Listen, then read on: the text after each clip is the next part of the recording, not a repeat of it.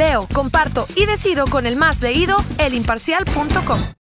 Como cada año, los feligreses se dieron cita este sábado en el santuario guadalupano para celebrar la festividad de San José María Escriba de Balaguer, fundador del Opus Dei. José María Escriba de Balaguer fundó el Opus Dei en 1928 y fue canonizado por el Papa Juan Pablo II en 2002. Esta institución jerárquica de la Iglesia Católica tiene como finalidad contribuir a la misión evangelizadora de la Iglesia y difunde el mensaje de que todos pueden encontrar a Dios en las actividades cotidianas. San José María Escribá también es conocido como el santo de la vida cotidiana.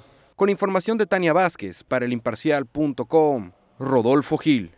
Vuelve el gran sorteo El Imparcial. Te regala un auto y más. Primer gran sorteo el 7 de mayo, donde podrás ganar un auto Volkswagen Gol y varios premios más. Segundo gran sorteo el 23 de julio, donde podrás ser el afortunado ganador de un auto Volkswagen Crossbox y muchos premios más. Consulta bases y dinámicas en tu periódico El Imparcial.